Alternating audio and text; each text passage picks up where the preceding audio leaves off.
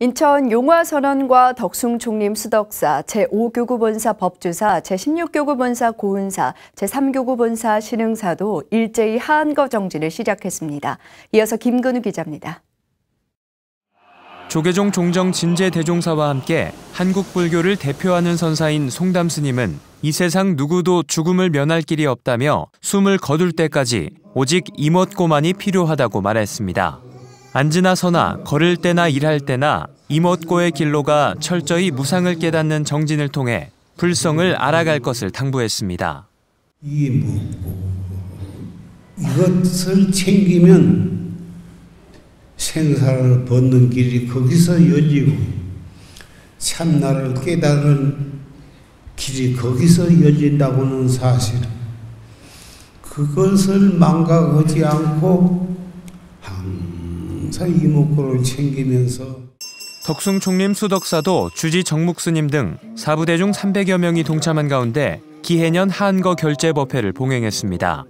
방장 우송 스님은 자신의 탐욕이 없어지는 것이 곧 중생의 분노가 없어지는 것이고 내 마음의 분노가 녹아지면 세상의 분노가 녹아진다고 법문했습니다.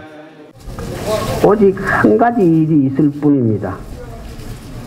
일체 중생의 번뇌를 끊고 일체 중생을 큰 열반에 들게 하는 오직 한 가지 일. 이 먹고. 제5교구 본사 법주사도 132명의 스님과 41명의 제가자가 세 달간의 용맹 정진에 돌입했습니다. 조실 월서 스님은 3개월이라는 기간을 설정해 수행 정진해야 할 과업은 진실로 막중하다는 것을 인식해야 한다며 굳은 결심과 비상한 각오, 엄청난 용기가 필요하다고 강조했습니다.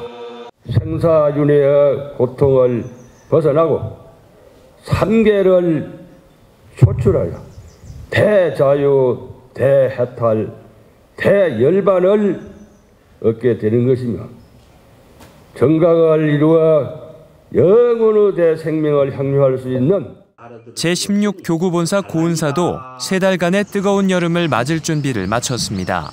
조실 근일 스님은 결제의 의미가 무엇인지 스스로 반조해보라며 오늘 결제의 참뜻은 어떻게 하면 마음을 바르게 쓰고 다스릴 수 있겠는가를 고민하는 것이라 말했습니다. 보배를 가지고 있습니다. 이 보배는 미래급이 닿도록 써도 닳아지지도 않고 없어지지도 않습니다. 그 보배 이름을 우리는 불성이다, 자성이다, 마음이다. 그렇게 이름을 붙입니다.